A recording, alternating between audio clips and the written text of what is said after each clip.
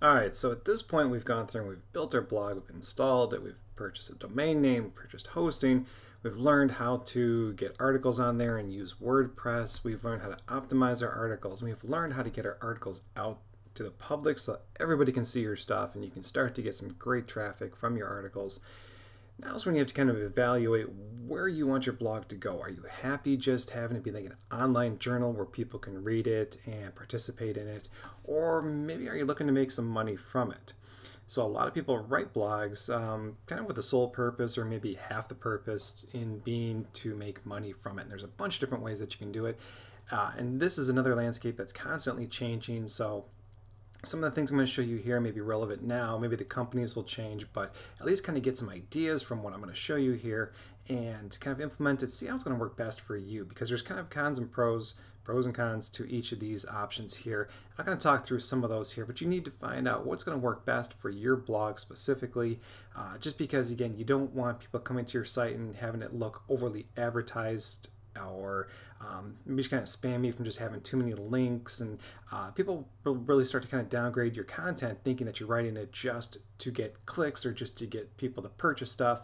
Uh, people want to feel like they're actually being informed and not just sold to. So, kind of take all this stuff with a grain of salt and see what's going to work best for you. So the first thing I want to show you is adding banner ads to your website. Now it's probably one of the oldest forms of advertising um, for online websites and a lot of people use this. Personally, I've never found it to be a great source of revenue. People get what's called banner, banner blindness where they just kind of stop seeing banners after a while. They're so used to seeing you know things rotating and flipping and blinking, or just the sidebar area where an ad usually appears, where they just immediately click off of it, or you know if a pop-up comes off, they get rid of it, um, or they just don't even look at the sidebar because they know it's where all the ads are.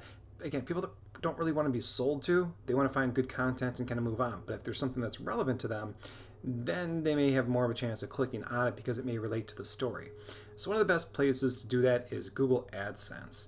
Uh, now, if you have a Google account, which you should at this point because it's important to have analytics set up in your website and um, a sitemap created for your website, and all those things you're going to want to submit to Google.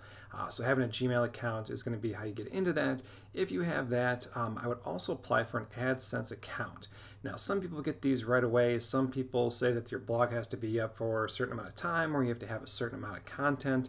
Um, maybe wait until you get a little bit of traffic coming to your website. Maybe wait till you've got, you know, five or 10 posts on your website before you try applying to this. And these guys can uh, deny you for just random reasons.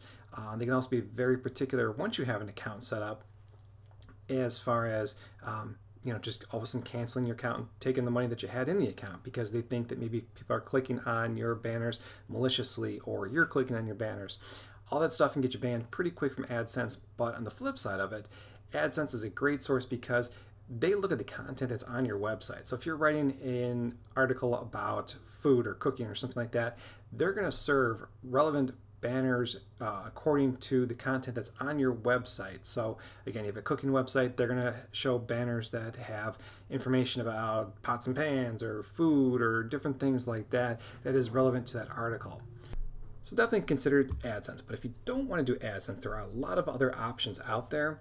Um, these are just a few of them. Again, these change from day to day. Uh, there's always something different going on out there. Media.net's a good one. Uh, these guys have different types of banners that work, may work on your website, maybe a little bit better than Google. Uh, but again, this is up to you to kind of take a look at, see what you can apply for, and what's actually going to work best on your website. Uh, this is a good company here. Infolinks is not a bad one. I've used this one before too. They have different types of banner ads. They have some very common ones, um, but they also have like banner ads that come up on the sidebar of the website or maybe that pop up from underneath. Uh, they have all different kinds and they're always changing their types of banners as well. Uh, pretty easy to get into. They make a pretty decent amount of money from when people click on your banners, but it's a good resource to use. Uh, RevenueHits, that's another good one. Uh, different types of banner ads that they have uh, consider taking a look at them. Now I'm going to put a list of all these websites in uh, the account here so you can download it. But again, remember that these may change from day to day. Uh, Chitika's been around for a long time. I'm not a big fan of their banners, but some people swear by them and some people have good success with them. Again, it just depends on what's going to work best for you. Adversal, uh, another good company. They have uh, different types of banners as well. Maybe take a look at them. Uh, Clicksor.com, another older um, art advertising company. It's been out for a while. They've got all different kinds of solutions, so definitely take a look at them. Bidvertiser, they're a good one. Uh, again, can monetize your traffic by having all sorts of different types of ads. You can see they've got pop under ads and domain name redirects and all different ways that you can make money from them. Uh, last one is IntelliLinks. Uh, again, just different kinds of banner ads and things that you can add to your website. So take a look at these guys, at least start here, but feel free to do a search as well for different types of online advertising or ad advertising companies. Because uh, again, everybody, everyone may offer something a little bit different, both in the amount of money that you get every time somebody clicks on one of these banners, but also there's a different payout rate. So maybe one will say hey as soon as you make 25 bucks we'll send you a check. Another one may be a minimum of $100 uh, just kind of feel them all out. Feel free to kind of mix and match some of these different options here and see what works best for you